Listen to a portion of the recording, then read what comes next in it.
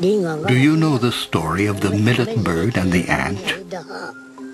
No. Then listen. It's a story about helping each other. You see the bird that made its nest right there? The yellow bird? The Malakoteng ant is never far away. After the rain, it always brings out its seeds to dry them, but also for the bird. It's no coincidence that the bird builds its nest here. It sings and tells the ant when the rain is over so that it can bring its seeds out. And in return, the ant lets it peck at its supplies because it knows that the bird has nothing to eat right now. Look,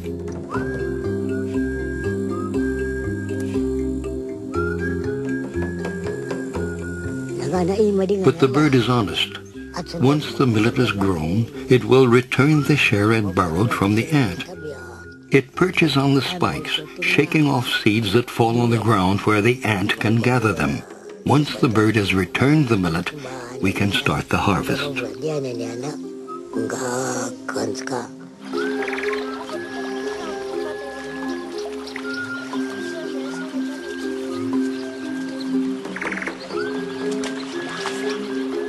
The rain has been plentiful.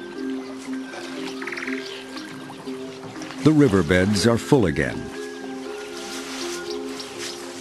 The ground is soaked, and sunny days will now provide perfect conditions for the crops to thrive.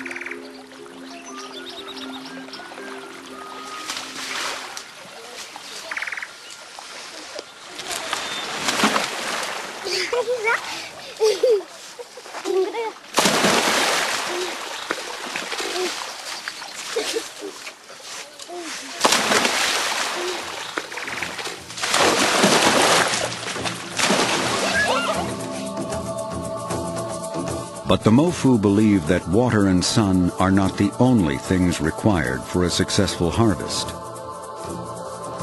There must be peace and harmony in the spiritual world of their ancestors.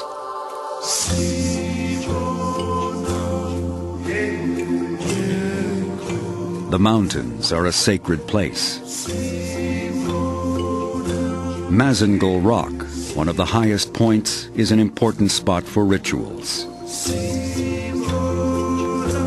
Here they pay tribute to the spirits of the mountains, the Imbolum, to ensure that the crops grow ripe and full. The sacrificer tears off part of the mountain spirit from the rock three times. This symbolizes a union of the village, the mountains, and the ancestors. He distributes a share of the spirit to ambassadors from the village.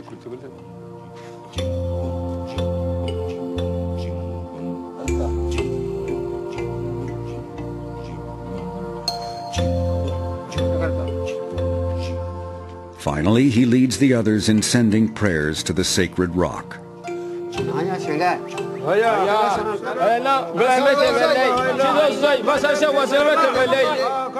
They ask for a plentiful harvest and relief from harsh climate conditions.